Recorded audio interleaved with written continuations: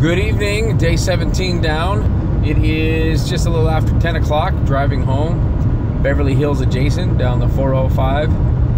And yes, even though I'm all by myself, I am in the HOV lane. Getting all kinds of strange looks. Anyway, good day today. Had both my shakes. Uh, had a nice salad, snacked on some uh, some vegetables while I walked around the restaurant, whatever the boys were prepping for the day, some green beans, broccoli, carrots, uh, all that kind of all that kind of good stuff. So I feel really good about that.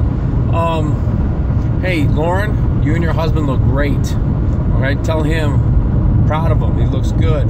This is supposed to be fun. It doesn't have to be all hard work and sweat and tears and, and pain. All right, it's got to be fun.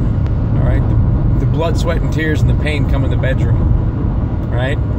So, um, last week didn't lose any weight, but I told Christa earlier in the week that I didn't feel like I was losing weight. I never did. Uh, just that one week, I just felt, I don't know, maybe bloated, a little gassy. Um, just didn't feel right.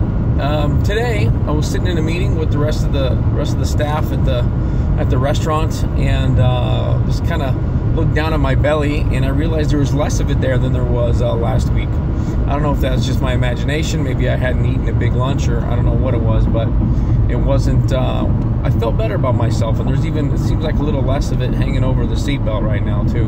Um, so, you know, it's a minor setback. I don't even think it was a setback. I was disappointed I didn't see any weight loss, but I know how these things work. Still haven't had any uh, any alcohol, beer, wine, whiskey, anything like that for uh, over two weeks now. Um, you know, and I wouldn't call you know alcohol a crutch. Uh, for me, it's just it's something that I had come to depend on to kind of get me through life, um, but not a crutch. So, but now I've uh, I've dropped that and I'm uh, doing well. But you know what? These videos are kind of helping me kind of see what I'm doing right and wrong, and like I said, keep me accountable.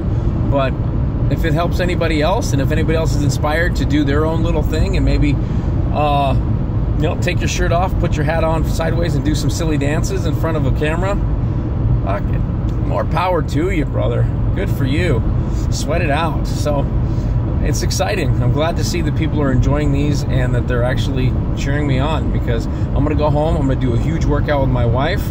We're going to jump on some Insanity Max 30. Maybe I'll record it. Maybe I won't. Maybe you'll see with my shirt off, ladies. Maybe you won't. We'll see. We'll have to see how I feel.